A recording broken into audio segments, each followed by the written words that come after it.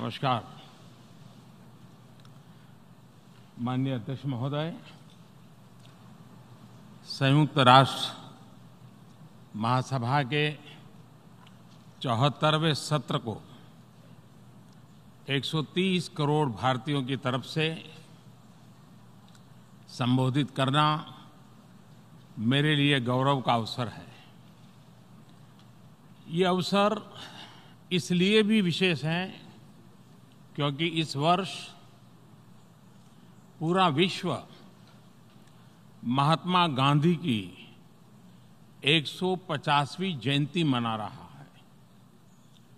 सत्य और अहिंसा का उनका संदेश विश्व की शांति, प्रगति और विकास के लिए आज भी प्रासंगिक है।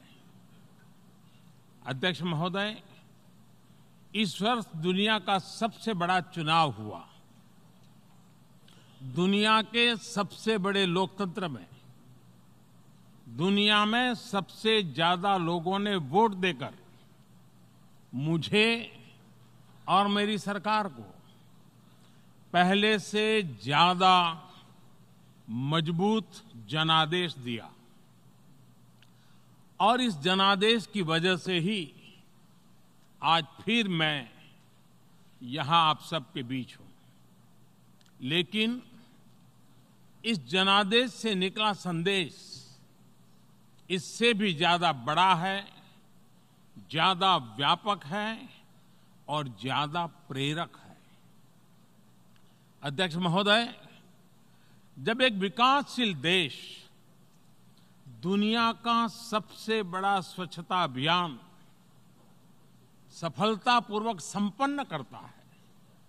सिर्फ़ पाँच साल में 11 करोड़ से ज़्यादा शौचालय बनाकर अपने देशवासियों को देता है तो उसके साथ बनी व्यवस्थाएँ पूरी दुनिया को एक प्रेरक संदेश देती है। जब एक विकासशील देश दुनिया की सबसे बड़ी हेल्थ एश्योरेंस स्कीम सफलतापूर्वक चलाता है।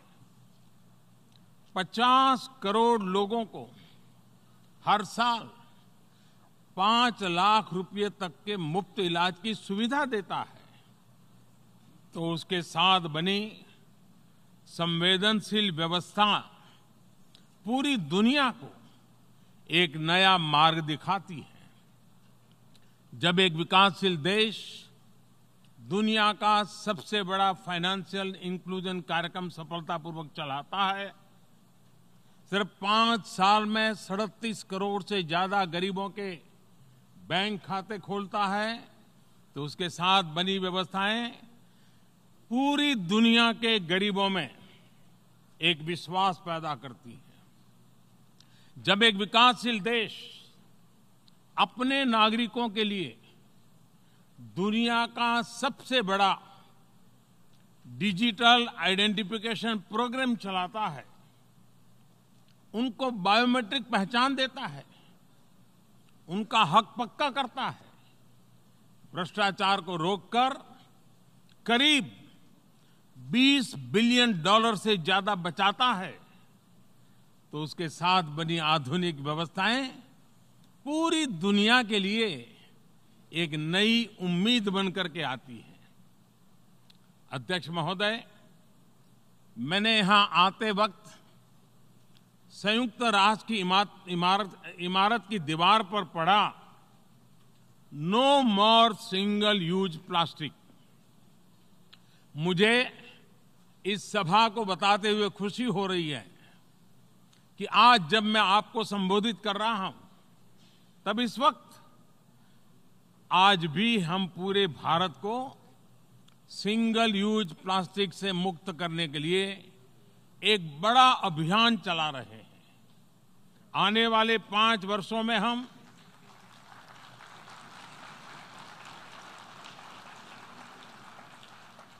आने वाले पाँच वर्षों में हम जल संरक्षण को बढ़ावा देने के साथ ही पंद्रह करोड़ घरों को पानी की सप्लाई से जोड़ने वाले हैं। आने वाले पाँच वर्षों में हम अपने दूर दराज के गाँवों में सवा लाख किलोमीटर से ज़्यादा नई सड़कें बनाने जा रहे हैं। वर्ष 2022 जब भारत अपनी स्वतंत्रता के 75 वर्ष का पर्व मनाएगा, तब तक हम गरीबों के लिए दो करोड़ और घरों का निर्माण करने वाले हैं। विश्व ने भले ही टीबी से मुक्ति के लिए वर्ष 2030 तक का समय रखा हो, लेकिन हम 2025 तक भारत को टीबी मुक्त करने के लिए काम कर रहे हैं।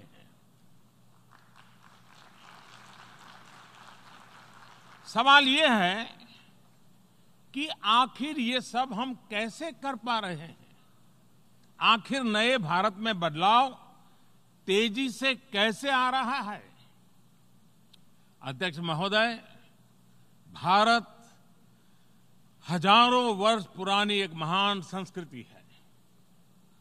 जिसकी अपनी जीवंत परंपराएँ हैं, जो वैश्विक सपनों को अपने में समेटे हुए हैं। हमारे संस्कार, हमारी संस्कृति जीव में शिव देखती है। इसलिए हमारा प्राण तत्व है कि जन भागीदारी से जन कल्याण और ये जन कल्याण भी सिर्फ़ भारत के लिए नहीं, जग कल्याण के लिए हो। जन कल्याण से जग कल्याण। और तभी तो हमारी प्रेरणा है, सबका साथ, सबका विकास, सबका विश्वास। और ये सिर्फ़ भारत की सीमाओं में सीमित नहीं है। हमारा परिश्रम न तो दया भाव है और न ही दिखावा। ये सिर्फ़ और सिर्फ़ कर्तव्य भाव से प्रेरित है। हमारे प्रयास 130 करोड़ भारतीयों को केंद्र में रखकर हो रहे हैं। लेकिन ये प्रयास जिन सपनों के लिए हो रहे हैं, वो सारे विश्व के हैं, हर देश के हैं, हर समाज के हैं। प्रयास हमारे हैं, परिणाम सभी के लिए है, सारे संसार के लिए है। मेरा ये विश्वास दिनों दिन तब और भी दृढ़ हो जाता है जब मैं उन देशों के बारे में सोचता हूँ, जो विकास की यात्रा में भारत की तरह ही अपने अपने स्तर पर प्रयास कर रहे हैं। जब मैं उन देशों के सुख दुख सुनता हूँ, उनके सपनों से परिचित होता हूँ, तब मेरा ये संकल्प और भी पक्का हो जाता है। कि मैं अपने देश का विकास और भी तेज गति से करूँ, जिससे भारत के अनुभव उन देशों को भी काम आ सके। अध्यक्ष महोदय, आज से तीन हज़ार वर्ष पूर्व, तीन हज़ार वर्ष पूर्व भारत के महान कवि कणियन पुंगुन रनार उन्होंने विश्व की प्राचीनतम भाषा तमिल में कहा था, यादम उरे, यावरुम केडीर। यानी हम सभी स्थानों के लिए अपनेपन का भाव रखते हैं और सभी लोग हमारे अपने हैं। और ये तीन हज़ार साल पहले की बात कर रहा हूँ।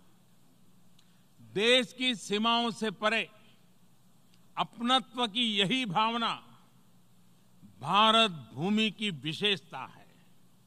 भारत ने बीते पाँच वर्षों में सदियों से चली आ रही विश्व बंधुत्व और विश्व कल्याण की उस महान परंपरा को मज़बूत करने का काम किया है, जो संयुक्त राष्ट्र की स्थापना का भी ध्येय रही है। भारत जिन विषयों को उठा रहा है, जिन नए वैश्विक मंचों के निर्माण के लिए भारत आगे आया है, उसका आधार वैश्विक चुनौतियाँ हैं, वैश्विक विषय है और गंभीर समस्याओं के समाधान का सामूहिक प्रयास है। अध्यक्ष महोदय, अगर इतिहास और पर कैपिटा एमिशन के नज़रिए से देखें तो ग्लोबल वार्मिंग में भारत का योगदान बहुत ही कम रहा है। लेकिन इसके समाधान के लिए कदम उठाने वालों में भारत एक अग्रणी देश है। एक और तो हम भारत में 450 गीगावाट रिन्यूएबल एनर्जी के लक्ष्य पर काम कर कर रहे हैं। वहीं दूसरी ओर हमने इंटरनेशनल सोलर अलायंस स्थापित करने की पहल भी की है। ग्लोबल वार्मिंग का एक प्रभाव ये भी है कि नेचुरल डिजास्टर की संख्या और उनकी तीव्रता तो बढ़ती ही जा रही है। उनका दायरा और उनके नए नए स्वरूप भी सामने आ रहे हैं। इस स्थिति को देखते हुए ही भारत ने coalition for disaster resilient infrastructure CDRI बनाने की पहल की है। दुनिया के देशों को इससे जोड़ने के लिए मैं निमंत्रण देता हूँ। इससे ऐसे इंफ्रास्ट्रक्चर बनाने में मदद मिलेगी, जिन पर प्राकृतिक आपदाओं का प्रभाव कम से कम होगा। अध्यक्ष महोदय यूएन पीस कीपिंग मिशंस में सबसे बड़ा बलिदान अगर किसी देश ने दिया है तो वो देश भारत है। हम उस देश के वासी हैं जिसने दुनिया को युद्ध नहीं, बुद्ध दिए हैं, शांति का संदेश दिया है।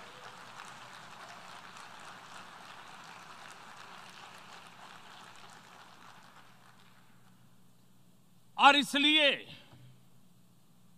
हमारी आवाज़ में आतंक के खिलाफ दुनिया को सतर्क करने की गंभीरता भी है और आक्रोश भी।